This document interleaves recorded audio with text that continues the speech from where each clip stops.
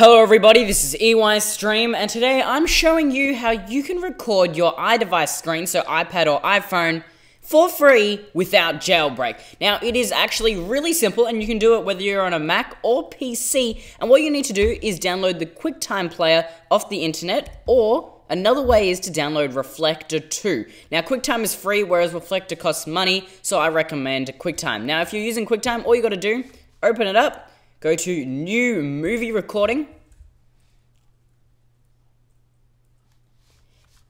Then from this little box over here, it is super simple. You can see here, click this little arrow and you can switch between your FaceTime camera and the iPad as well as which microphone you're using. So if you're using a mic like I am, you can just click that or you can use the mic from the computer or from your iPad. Now, if you're using Reflector, it's also really, really simple. Go ahead, open up Reflector, go to your iPad and go to AirPlay.